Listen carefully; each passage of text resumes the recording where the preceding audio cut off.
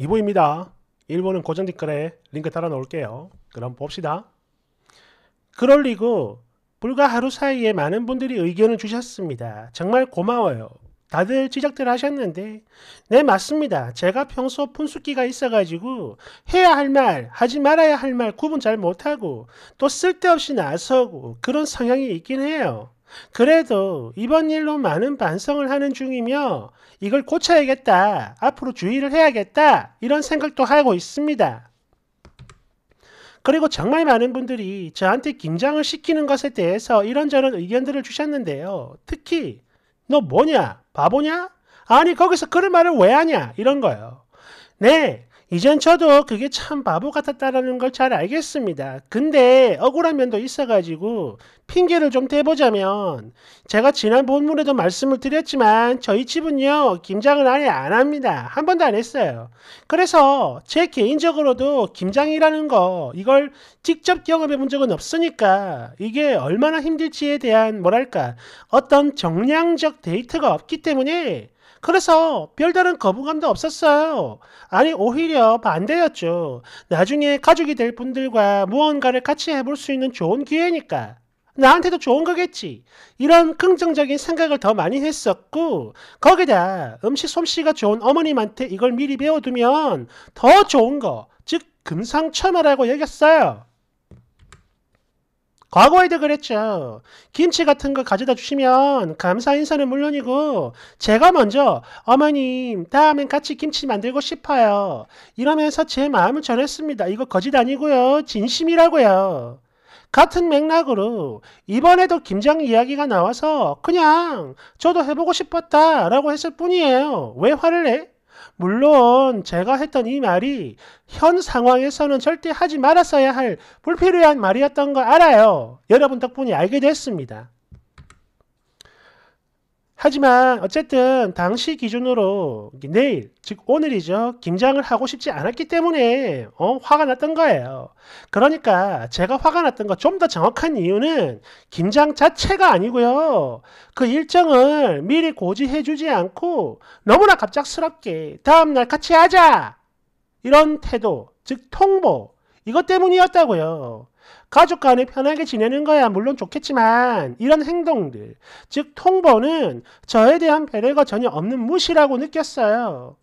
뭐 결론적으로 저는 오늘 몸이 아파서 김장에 참석하지 않았고 남친과 같이 이 글에 대해서 깊은 대화를 하며 공감과 더불어 사과도 받아냈습니다. 물론 저 또한 남친의 입장에서 본 어머님의 진정한 그 의도를 이해해 볼 수 있었던 시간이고요. 그리고 남친 나이 물어보시는데 저보다 10살 많아요. 왜요? 뒤에 후기 하나 더 있어요. 댓글 1번. 니마 지금 네가 쓴 추각을 말이지. 앞뒤가 하나도 안 맞는 거 너 스스로도 알고 있죠? 뭐 어쨌든 본인 결정이니까 꼭 결혼까지 하세요. 어? 2번. 그래 그래. 나이 많은 아저씨를 만나는 정신머리니까 내일 김장할 테니까 자고 가라. 라는 그 멍멍이 소리에도 욕을 하는 게 아니라 해보고 싶었어요 어머님. 이런 말이 나오는 거구나. 아니 어떻게 10살 연상을 만날 수가 있어? 어이쿠 대단해요. 3번. 헐 지팔 직권 10살 차이라니. 너를 어쩌면 좋니 이러다 나중에 이혼을 당해봐야 정신을 차리려나? 달달달달. 아니 지금 지를 일꾼으로 보고 있는 건데 이걸 몰라서 물어? 정말이야? 도대체 뭘 어떤 의도를 이해했다는 거야? 그래 네가 말해봐라. 네 시어머니 무슨 의도인데? 예? 뭐요? 진정한 의도? 진정한 의도? 쓰니 왜 이래? 미친 건가? 5번. 아, 됐고. 나는 지난 본문에서 이미 다 알아봤지. 김장은 처음이라 해보고 싶었어요. 김장 후 수육이 그렇게 맛있다면서요? 끌끌끌끌. 대댓글. 진짜 저 멘트가, 저 멘트가 진짜 압권이었죠. 한심해. 아니, 그거 남이 해준 거니까 맛있는 거지. 네가 하면 맛있겠냐고. 아우, 멍청하다, 진짜. 끌끌끌. 내가 다른 건 모르겠고 이순이 머리가 나쁜 거 하나는 확실한 것 같아요. 보통 푼수처럼 할 말 못 할 말 못 가리는 애들이 그래. 지능이 떨어지거든. 내가 진짜 많이 봤지. 너 같은 애들. 끌끌. 7번. 아니 나이가 10살이나 어리다면서 어지간히 처지나 보니 동네 똥개도 안 물어갈 걸 좋다고 물어가고 있어. 끌끌.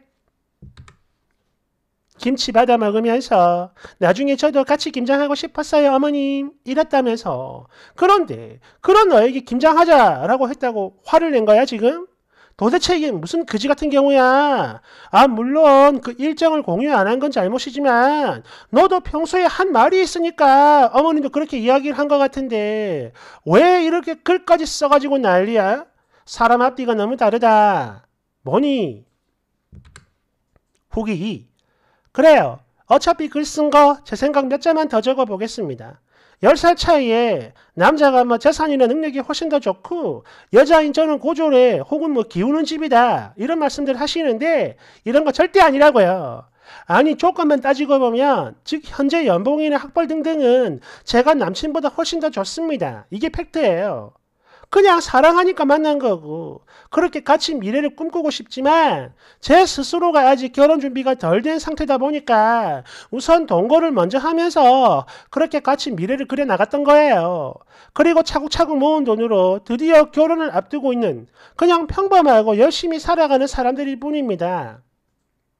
물론 예비시댁에서 넉넉히 준비 비용을 제시해 주셨지만 그냥 거절했어요.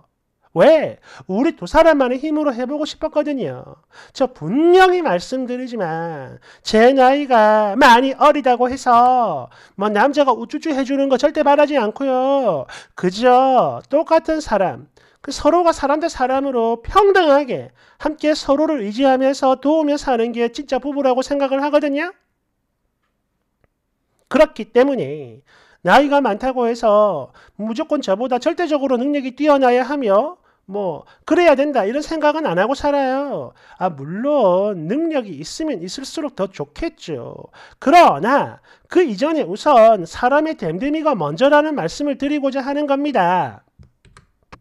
그런데 이렇게 됨됨이가 우선인 저를 전혀 배려해주지 않는 남친의 모습을 확인해서 더 속상했던 거고 그래서 다른 사람들은 이걸 어떻게 생각하는지 그걸 한번 보여주기 위해 글을 작성했던 거라고요. 멍청하고 어리석은 여자라고 비난하셔도 좋습니다. 하지만 수용을 해야 할 건 해야 하고 인정할 것도 인정하고 싶어요. 잘못을 했으면 깨닫고 또 그때그때 배우면 되는 거니까요. 그죠?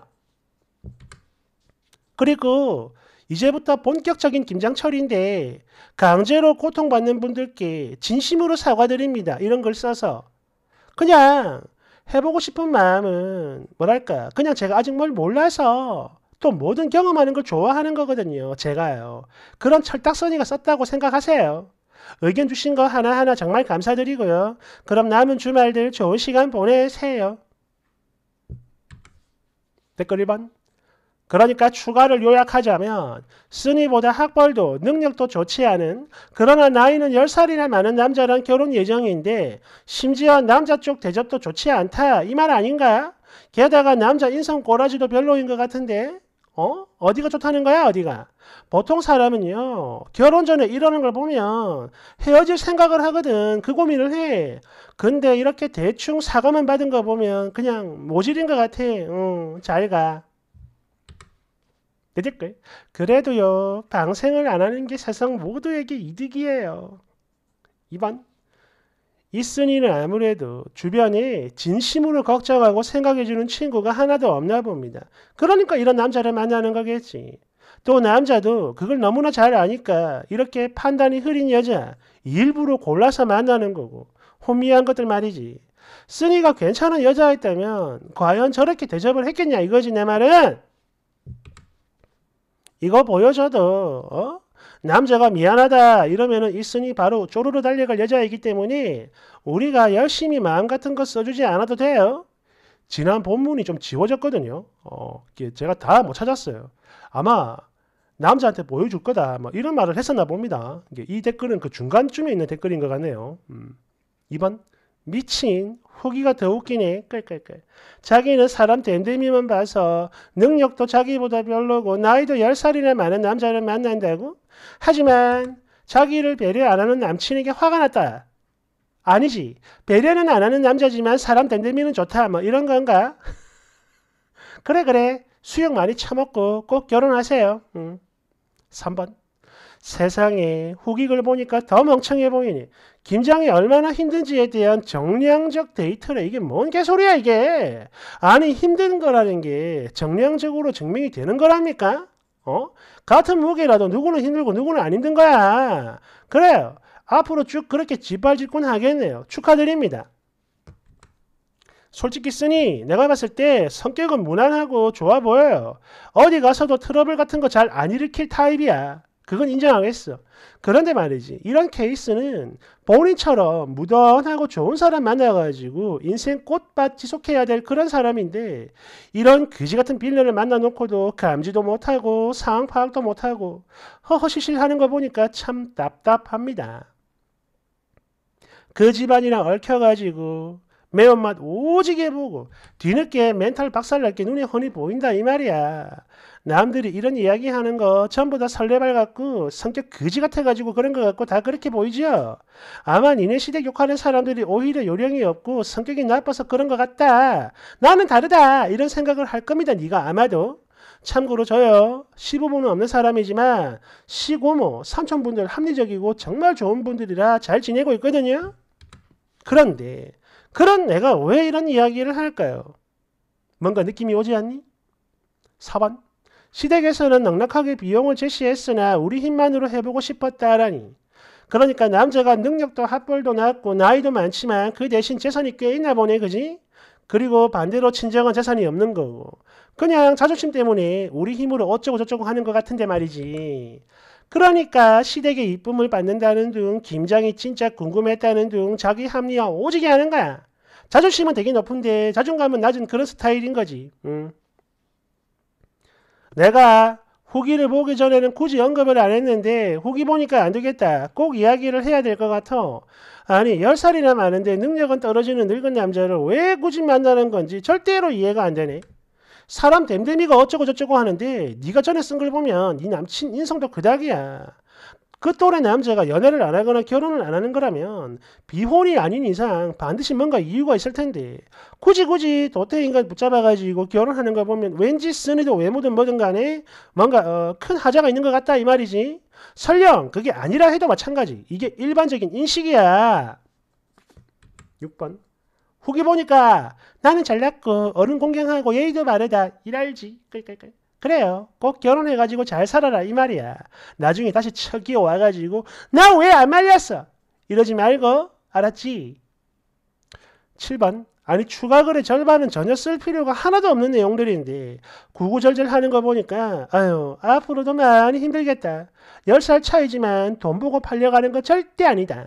내가 학벌이랑 수입이 더 좋다. 아 근데 10살 아래인 사람보다 돈도 못 버는 내 남자가 그렇다고 해서 너무 무능한 건 아니고 댐댐이가 좋아요.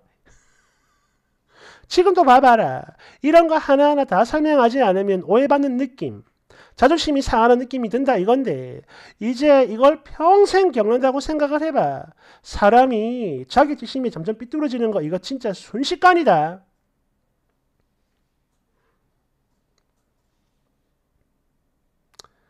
저도 그 생각이 들었어요. 뭐 써니는 남친이 뭐 댐댐이가 되고 뭐 좋은 사람이다 하는데 그런 사람이 행동이 좀 이상하지 않습니까? 이건 뭐 저만 의심하는 걸 수도 있는데 그러니까 자기 본가에서 김장을 한다는 걸 과연 남친이 몰랐냐는 거지.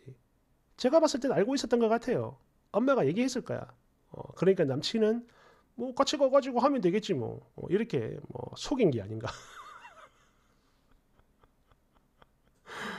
물론 뭐 제가 너무 멀리 가는 걸 수도 있습니다. 어, 어쨌든 지금 사과를 했다는 것은 여친이 도망갈 수 있으니까 또 사과를 할 수도 있는 거고 글쎄요 그렇게 좋아 보이진 않는데 어, 뭐 내가 뭐 썩은 놈이라서 그런 걸 수도 있습니다 아무튼 그래요 음. 화이팅 감사합니다 음. 음.